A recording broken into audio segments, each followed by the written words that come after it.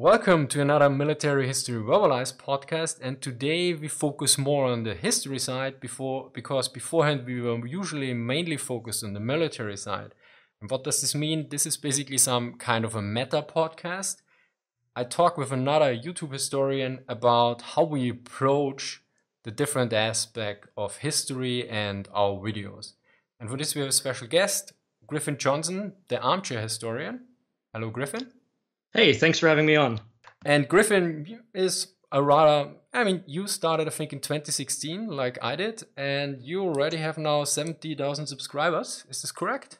Mm-hmm. Uh, 71, 71,000 right now. Yep. Excellent. And when this podcast is published, it's probably quite a few more. I looked at some of your videos and also your your recent Q and A, and and I saw, um, I f- or I think there's a certain difference how we approach history. So, mm-hmm. what is your thought on, for instance, the narrative or the explanation side? Because this is usually what I contrast. Is it more narrative driven on a story side or more on an explanation side? Mm-hmm. So, what I'll say is, um, in my earlier videos, um, especially when I was a little more hesitant to, I guess, give give opinions or um, include any sort of narrative. I would say a lot of my earlier videos were were much more um, uh, technical. Um, but recently, I would say my approach has been a little more on the. I would I wouldn't necessarily say uh, it's a narrative side because narratives can sometimes be a little dangerous when you're when you're talking about historical events and especially wars and conflicts um, because I mean, usually in a narrative or a story, you, you, you, even have like a good guy or a bad guy, and, and you don't always want to portray that when you're talking about history. It can be very contentious. Um, but I would say that, um, like I said, recently, some of my, some of my videos, um, I've been able to bring out more of a narrative through um, different quotes and um, um, even one of my newer videos. I launched a series called War Stories, and uh, all that video is is I took a, guy, a, a primary source, one guy's diary in Stalingrad, and got a voice actor to read every day or um, every couple of days of, of the entries. Um, so in that way, it's almost building a narrative where, where we're using quotes. Um, but I wouldn't say um, that I'm trying to build a narrative through um, saying, "Hey, this guy's a good guy. This guy's a bad guy. Here's here's like a story arc and and making." I, it's not put into uh, you know a story. It's more just um, taking primary uh, sources and and um, uh, just seeing what the human aspect is of different historical events. Did you put these primary sources in in a context, or do you edit some commentary here?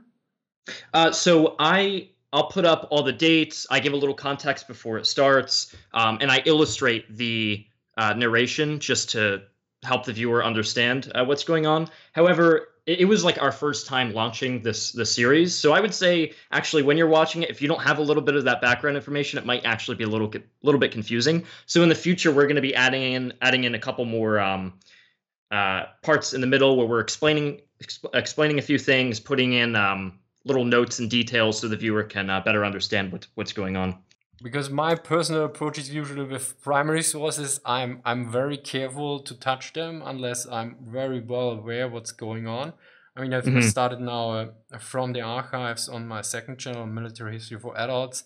Basically where where I looked at some files from the german high command what they thought about the second japanese war and the performance of the japanese especially. And then I, I, I looked at the summary and then i provided some some more orientation, what we know, what was going on, or in some cases, if this made sense or not. For instance, they, they noted that uh, the Japanese were not happy with some of their equipment, for which I looked up, and it was basically okay, there was some change going on when the war happened, so that they were switching from one equipment to another, and this probably was issued in this reflection because else the quality was rather high.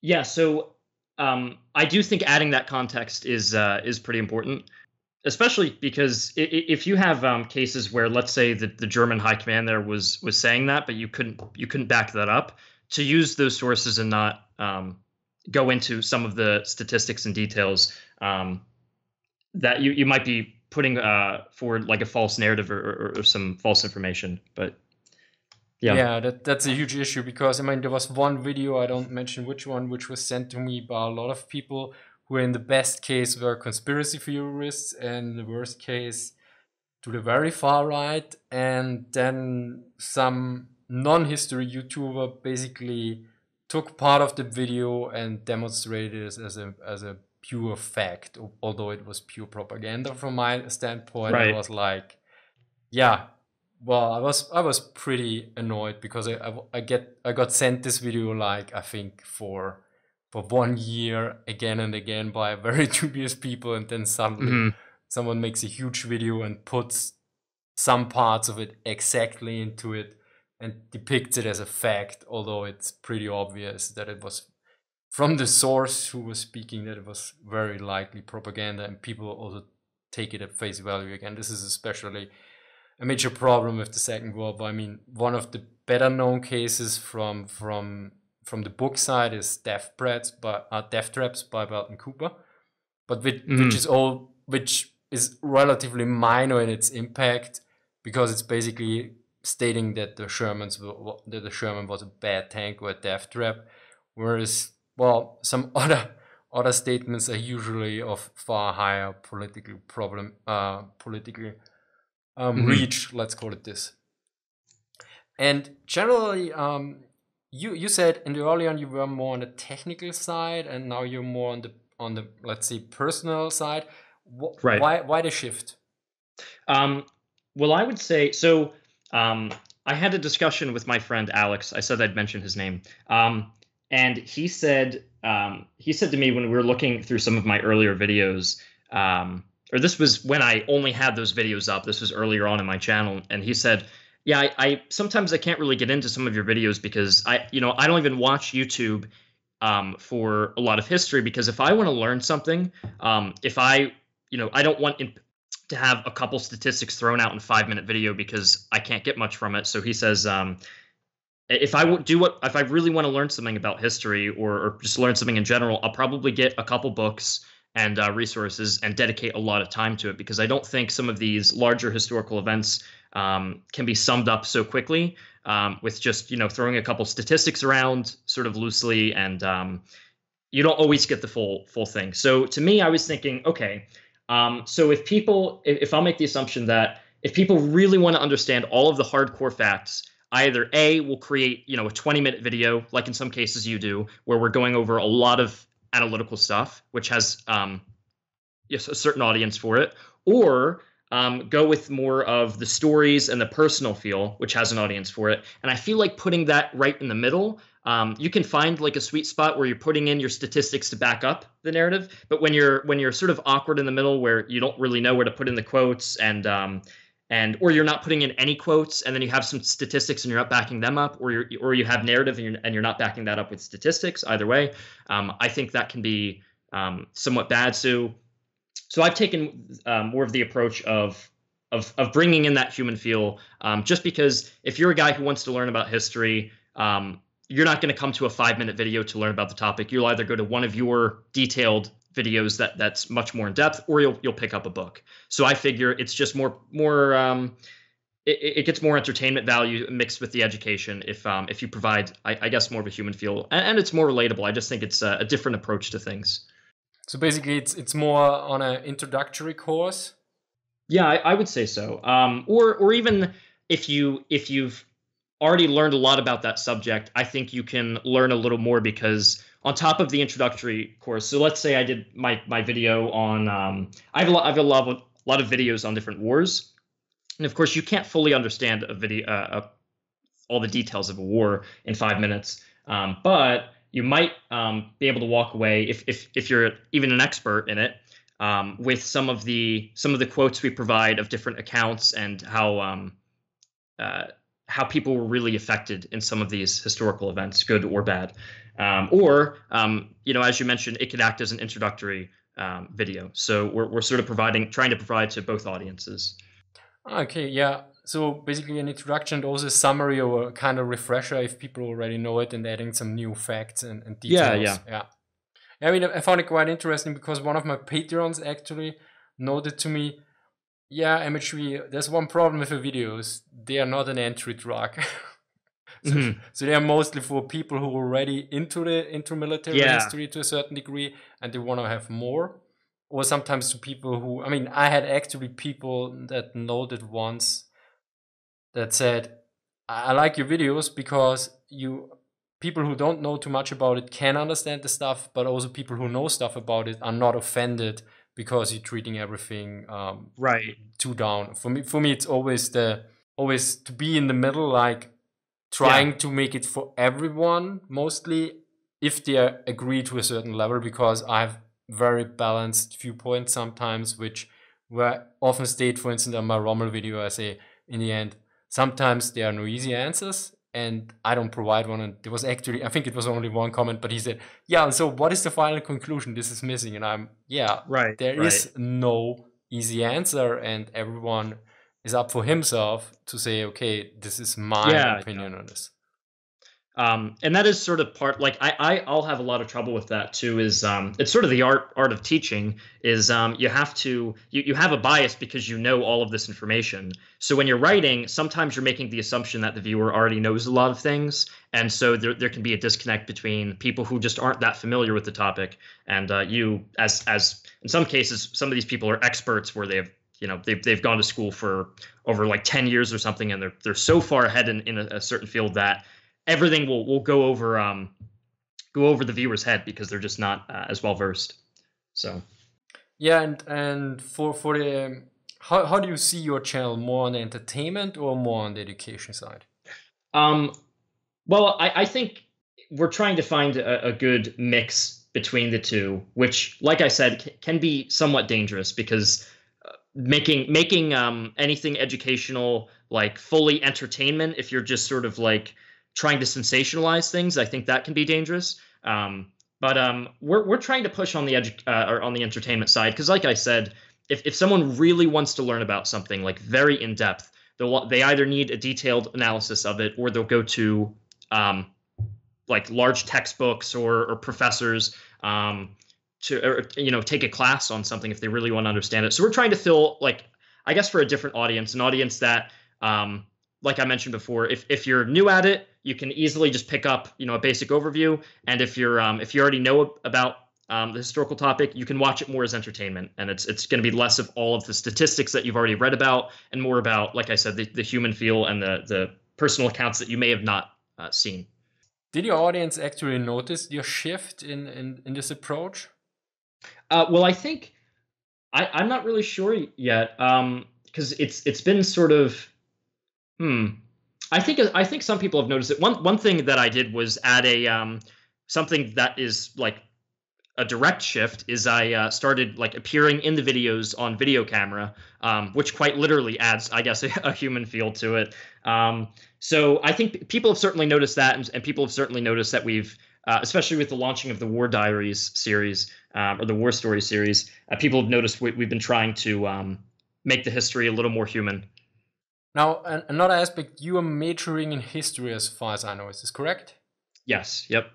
So, what is what did you notice on the on a university side? I mean, you also watched some of my videos. Do you see a, a, mm. some kind of difference in? I mean, of course, I'm not a professor or lecturing on a university, mm -hmm. But do you do you see a certain difference? Like because you're from the United States and I'm from Austria, so do you see a certain difference in the approach there?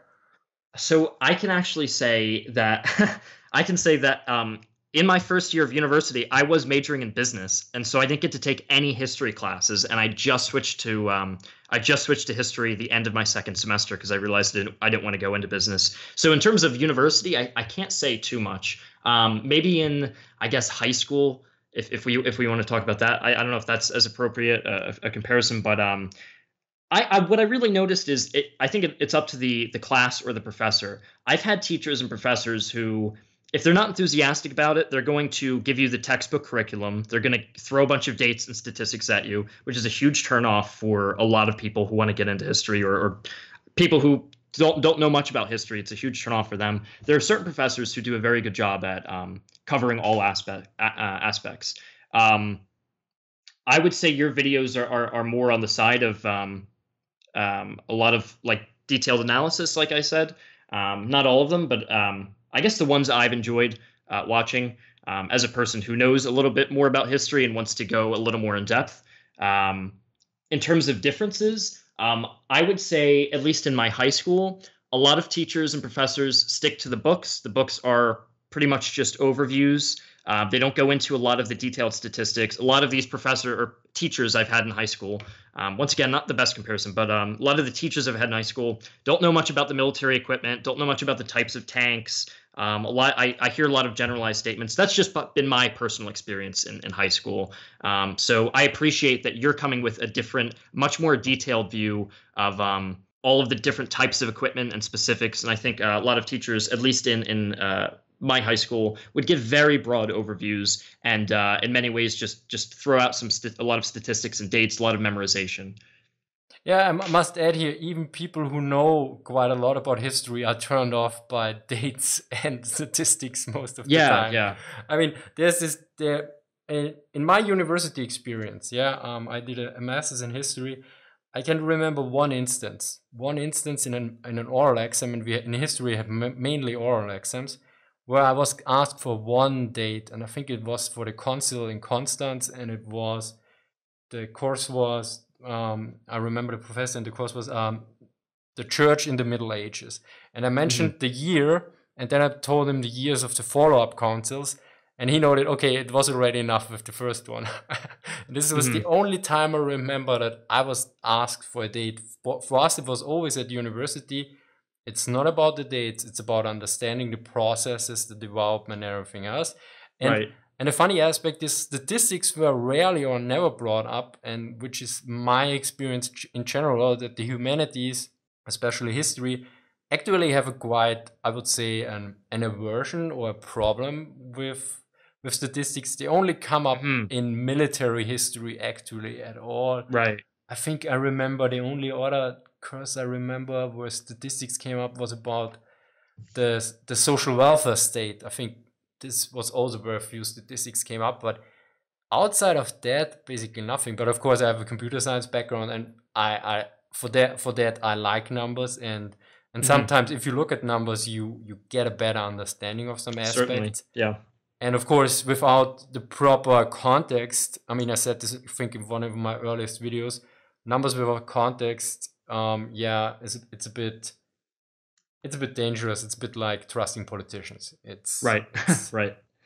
No, and uh, yeah, I, I would I would say yeah, most of the statistics that I've heard are are in more of the uh, military history. Um, that that'll be mentioned. Um, but yeah, there I think just like I said, there, there's there's been a little bit of an issue just because a lot of the curriculum has to be streamlined for everyone to get. So you're not going to get the best. I'm sure it's different in university. I, I like I said, I don't have uh, much experience in taking uh, some classes in uh, on history in university yet, but um, in high school, I, I, it felt very streamlined. I, I noticed. Yeah, yeah.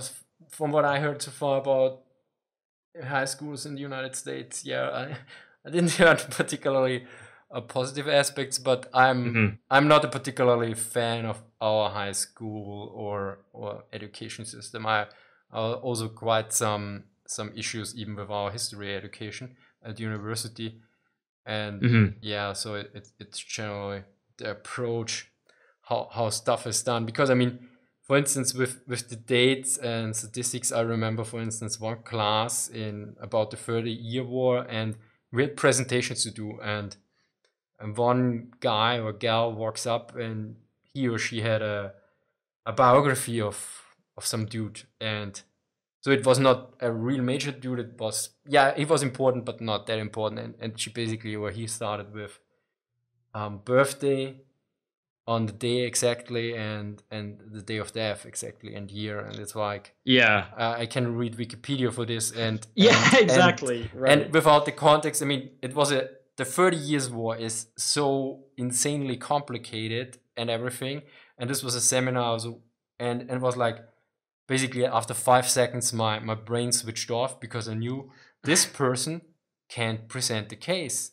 because right. give a basic overview why is this person important yeah. what did he or she do what, what we need to get like like five points why i should know about this person what's the mo- most important thing right but telling me of something in the who lived in the seventh cent- uh, 17th century on the day exactly when he was born and when, when he died is utterly unimportant.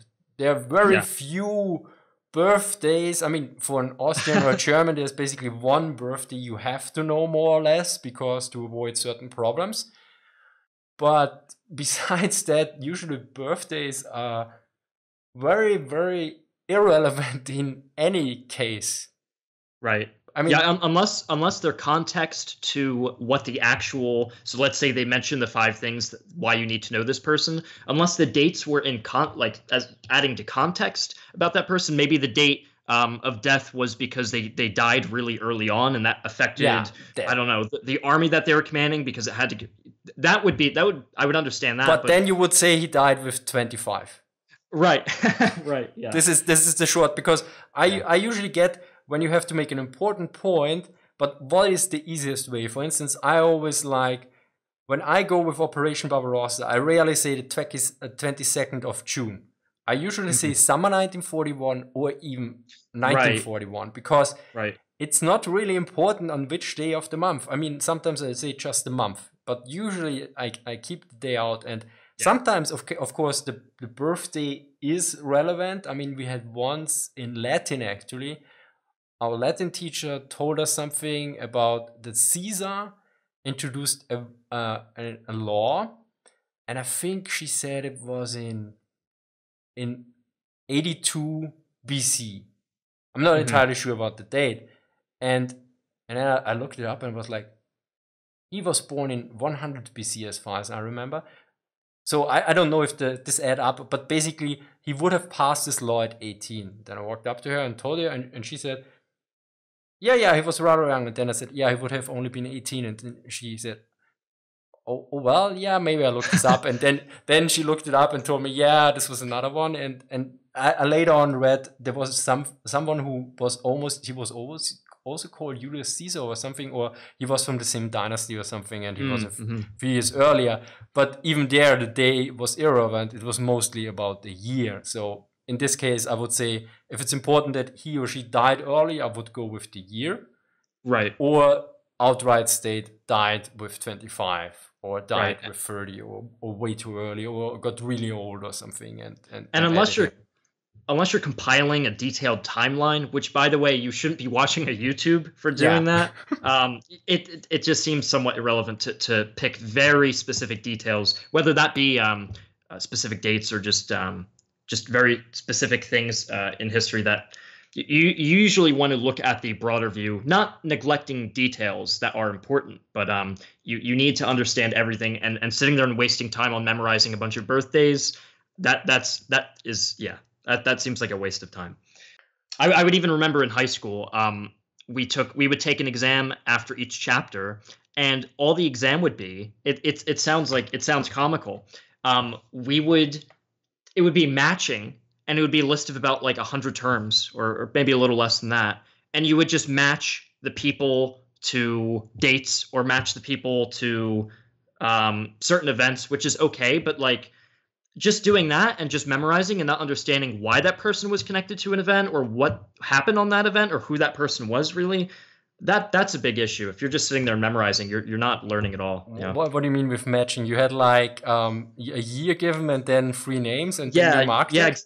yes, exactly. I are, would call this elementary school level. Yeah, exactly. Yeah, I was, and we would have we would have bigger. I, I wouldn't call this an exam. These these were the, were the quizzes that were given after ah, each okay, chapter yeah. to make sure. Yeah, so the the the exams themselves um, would have written portions and essays and, and multiple choice and the standard stuff. But we would all we would get a quiz after every single chapter and have to do that. And that seemed to me, you know, th- there's so many better ways to do it. Um, just forcing kids to memorize um, what was in the textbook. Uh, you need them to learn it, and a lot of them don't want to learn it. But um, that the, the the answer to that is not by just forcing them to memorize dates. It's to teach it maybe a little better. I I, I don't know.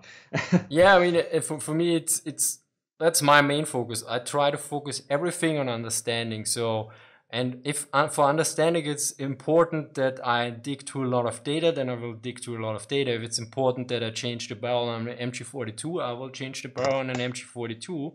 And, and this should be the main approach. I mean, this general what, what I see to a certain degree, and which is reflected by the whole uh, political debate about fake news and everything, is that there should be first on how, how do I treat my students or pupils? Do I treat them as a as adults or do I treat them more or less like children? Because if I mm. should match some aspects to another and we both agree it appears more like elementary school level, then it's probably more an approach to yeah, to to treating them like children. The other aspect is in a in a time where you can in five to ten seconds get basically most important dates and data like what is the length of this rifle, what was the speed of that tank or something. Memorizing data is completely irrelevant because a computer will do it way better. Right, right, and, exactly. And getting the whole context is something which computers still right. have a, quite a problem, but but understanding why certain aspects happen to the whole the whole inner workings of system. And we in university did this. The, the mainly my notes basically in university were one term, then usually an arrow to the next term, which meant this influenced that or led to that. And I had only one professor in, in medieval history, which was just full of dates and names because he right. listed only information and, and then I read up all this information. I learned a lot, but it was basically, yeah, it was basically all the crusades included from the very beginning, and I can't remember anything of it. Mm-hmm. I learned everything for it. I think it was one of the toughest history courses. I mean, you could choose, but I intentionally cho- chose that guy because I knew he was one of the few guys who didn't give a straight A on everything. So mm-hmm. I, I wanted this like an honor badge, and it was and and then later on I saw ah, I forgot nearly everything. I mean, if I read up on it yeah. again, it will come back to a certain degree. But that amount of data, these, these, I mean, this was probably one of the few history exams where I had to study weeks, were basically completely wasted. Yeah, and yeah, and I remember when I was in high school, um, like early on, um, when I was and I was just getting into politics, my first thing was, oh, I'm just going to memorize a bunch of statistics and I'll prove everyone wrong. And I would go home and I'd, I'd memorize a bunch of statistics, and a week later wouldn't wouldn't remember a thing. But if I read up on a certain ideology or maybe the history of that ideology, how it was influenced, and what exactly the goals are, those are things I still remember today. So um, not only are statistics or, rather, sorry, uh, not, not, only are dates, uh, just memorizing dates and that sort of thing, uh, impractical. Um, but you know, it, it's a waste of time, and, and and you don't fully get the understanding of the event by simply memorizing a date. But I think we both agree on that. Yeah, yeah. It's, it's basically as stated in one video. You you have to get the the causality right, and then when you when you have the causality and everything in order, then you can easily add the dates later anyway. And for some people, the dates will never be of importance. Mm-hmm. Right.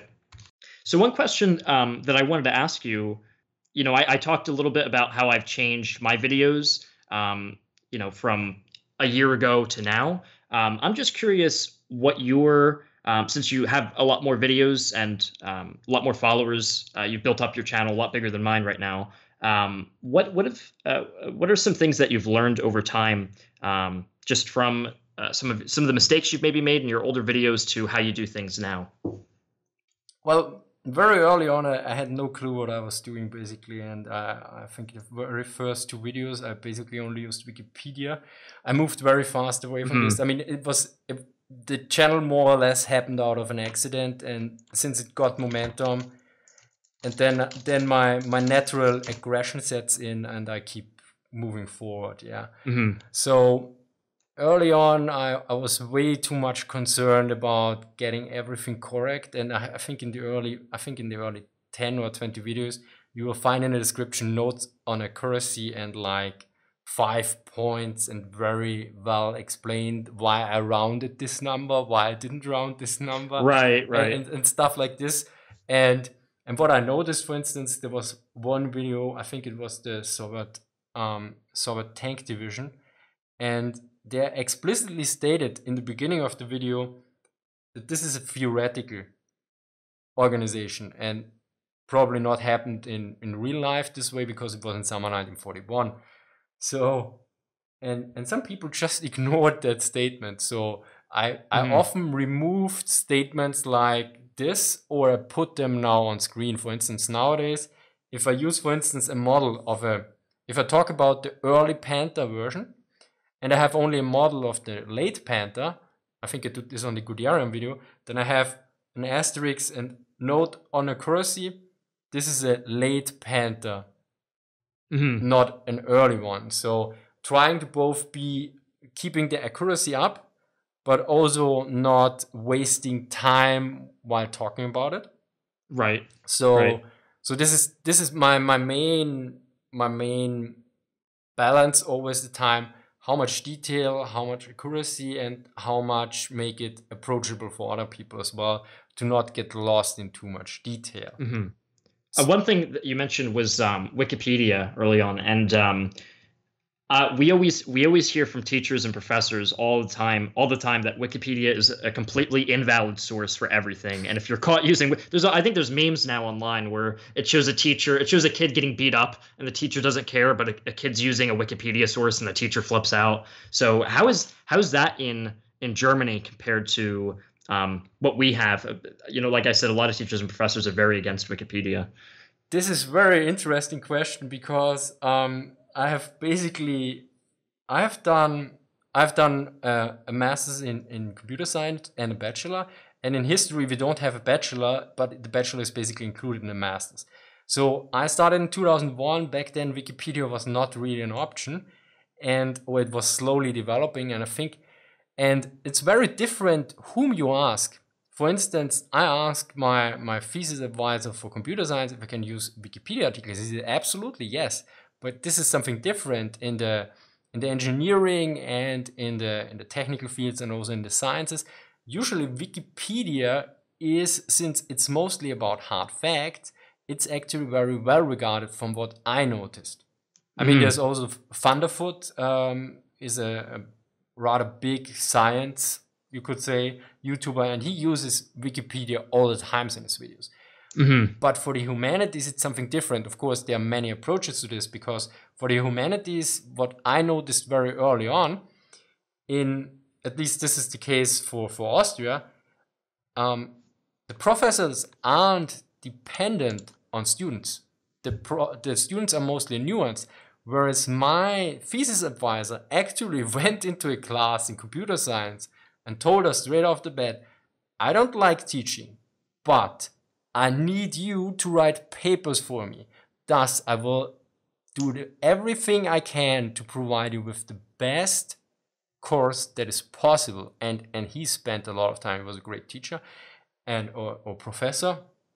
And and this is the thing. And he also mentioned this very interesting aspect for for for history. I had like I think I had a list of 30 thesis topics. At one point I stopped adding them for computer science after seven years i had one idea. And and i was like is this weird? And one day my thesis advisor actually mentioned this i think maybe in this class. He said when he was a student he had no idea on, a, on what thesis he should do. But now as a professor he has tons of thesis ideas yeah. but he has no time anymore. And any right. and in in history it's different. So my conclusion was from this in history, to a certain degree, for the most parts, the professors are accumulating information all the time. And they are doing this for decades. So every student that comes up is usually on a complete different footing and can't get there. At least back then. Nowadays, with the internet and everything, this has, has changed certainly. And I'm not sure if it's also changed how they work together. Also, it's Austria and Germany were basically it's frowned upon if you're on the university and you write a book that the general public can understand. Mm-hmm. To put it mildly, it's basically. I lately tried to, to translate some German quotes into English, and it's basically not possible sometimes because there are like three or four commas in the sentence. And I also noticed that my sentences I write in English are way too long. So, so and and then after I finished my studies and I went to, to work on a startup and some other stuff, I went back to university to do some law and business courses, classes. I think this was mm-hmm. two or three years afterwards. First of all, I noticed it was way more school like, but this was also due to various other changes. And then there was this guy, I remember him, and he went out there and said, outright, Wikipedia is not a source. I was like, what? Yeah. So so and and this is now there are several aspects here to consider. First off, it's is this aspects of the professors that they get the students to read their books because previously before wikipedia everyone had to read the books anyway there was no other way so you could say is it is it an aversion against wikipedia or is it basically read a fucking book yeah and and the other aspect is of course um yeah how valid is it because in humanities um they quote Wikipedia and then they add a source from the 1960s. And if you look, for instance, at the Battle of Britain, how much bullshit is out there with like the RAF was closely before breaking, and which gets repeated over and over again, and which is basically demystified since I think the early 2000 at least. I mean, Overy did the myth and reality of the Battle of Britain rather early, mm-hmm. and and it's it's repeated since then. But I still get a lot of comments. I think probably every two weeks I get a comment that if the Luftwaffe hadn't shifted to bombing London, and yeah, but basically all the airfields were not in bad shape and the RAF was not nearly anywhere, but it still gets pushed out in many other narratives as well. So so here's the here I can't say what the actual stance of various professors is. I guess it also depends on the professor. It also depends on the course and Mm-hmm. I was actually talking to a professor about a potential um, PhD, and and and he asked basically that there should be something like um, a critique of sources, the methodology. I don't know how you call this in English, Quellenkritik, but it's lacking. We don't have one for for internet sources because we have mm-hmm. we have all our methodologies basically for how to deal with with how you how you work on with oral history how you work with primary sources, how you work with memories, how you work with archives, but how you work with internet sources, how you classify them and everything. And for me, actually, it was never a, a big issue because uh, uh, for me, it feels intuitive when I take this or this side and and I see more or less, or maybe it's kind of stupid, I feel in a certain way how legitimate one page is more or less which also sometimes comes down to my computer science background because I wouldn't say I see the matrix, but I can tell sometimes just from from the appearance, from the design, from everything else. Usually, I can determine rather fast: is this a is this more a business side? Is it more a, a researcher side? Is it more a shorty side? Is it more a hobbyist side? How old is it? what happened there for me, how much advertising runs there, what kind of advertising runs there. So so I have a, a basically intuition for for because I've seen so many web pages. And mm. I mm-hmm. also I also and I was also trained basically in in old media all the time. So I usually stay away from online sources and move completely to the to the book side, which was also a reason because some people sometimes complained about Wikipedia. I think I I used it a second time. Well, I mean, basically not a second, but one major time I used it again was on the on the the Bren versus Spandau controversy mm-hmm. because here it made sense. It was like about how many countries use the MG42 or the the variant of it, the MG3 or another variant of it still. And it was like, and I knew already that this machine gun, this basically the derivative of the MG42 was used all over the place. And I, I just needed the proper source and was also in the moving from Germany to Austria. So I looked up Wikipedia because this is some information I know I can search for several books to finally find it but it's very unlikely because it's a very, let's say, a nerdy information. In how many countries is this machine gun or a variant of it still used? I, I, I can't even tell you in which book I would find it. I would definitely yeah, go yeah. to Wikipedia for it. Right. Yeah. So I, yeah, and I, and, and one thing you mentioned a, a while ago too is um, even that um, just because I, I think there is there is somewhat of a misconception that people think just because it's a book um, it's automatically a superior source than than really anything on the internet. Internet. Um, but yeah, I, I, definitely think that some things are reserved to books. I, as I mentioned a while ago, if if you really want to get in depth with things, usually you want to get a, a, an assortment of books, and um, if you have very specific questions and that sort of thing, um, even even some general general questions, I think the internet is a is a, a good source um, to use. Even even Wikipedia, as you mentioned, to find find those specific questions, like how many countries we're using a, yeah, a weapon. Yeah. It, it's basically yeah. an encyclopedia, but it's not for understanding. Books for, for me are for understanding and for context, and Wikipedia is basically for basic knowledge. So and and nowadays, basically back to the to the main question about my my channel. So what I'm doing more now is way more. Initially, I didn't quote at all. I didn't quote any books or something, and I'm going more into quoting these various sources because first my audience seems to like it, and I also noted lately right. Chieftain noted that he likes that, and and also another historian which should be on a podcast soon. Uh, he also noted that he likes this because we are more or less like yeah we live in the era of fake news let's call it this way and a lot of people don't back up any of the statements. And and so I think this is a, a good change for people and also some yeah. people that want to read more want to read into books or, or want to get some interesting quotes they are really after this. And and for me it's also yeah I, I like this. I I'm basically I'm basically trying to do to a certain degree um basically to summarize the current academic viewpoint on certain aspects. Mm-hmm. And for that, yeah, sometimes I, you need quotes.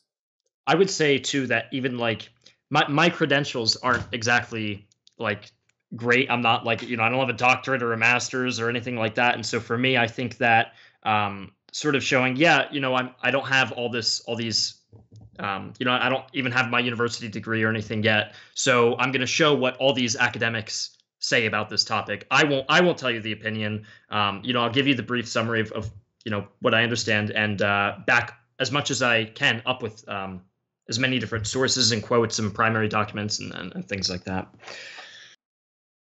Yeah, thank you very much for joining us, Griffin. Thank you for having me. I appreciate it. And be sure to check out his channel, Armchair Historian, on YouTube. It will be linked in the description. And thank you for listening. And see you next time. Bye.